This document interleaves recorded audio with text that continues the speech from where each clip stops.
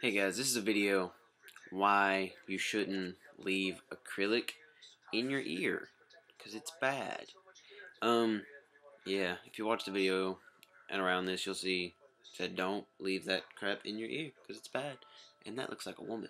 Um, anyway, yeah, this is pretty pretty terrible stuff because um I can't ever get close enough to show you that it has pores. I can't even see the pores.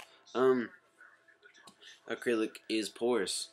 And when your skin stretches it's gonna fill in all these gaps.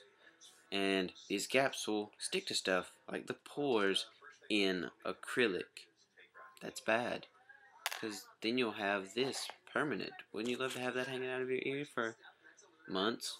Um you have to get it cut out or you have to be super hardcore and just so uh this is a very bad choice to leave in your ear if you're stretching only use this if you have been at that size at least two months, month, two months, whatever you're comfortable with, and don't just let it sit there.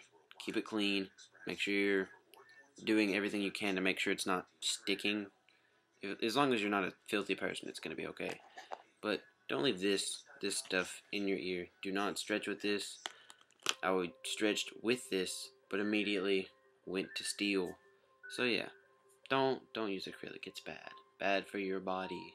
Some people can even react to this and get bad stuff in their ear, and it's terrible.